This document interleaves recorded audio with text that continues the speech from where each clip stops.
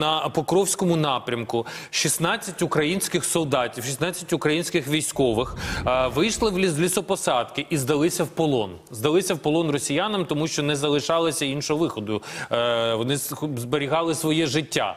Росіяни військовослужбовців українських, які здавалися в полон, просто взяли в упор, розстріляли.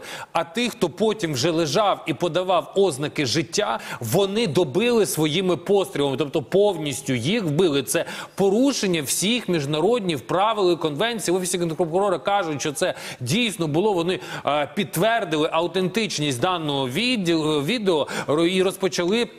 Вже досудове розслідування по факту порушення законів і звичаїв війни. Ну це, це просто е, ну, осягнути. Ну, не- мене навіть слів немає.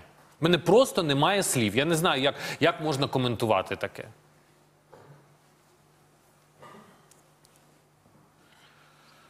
Ой, фух.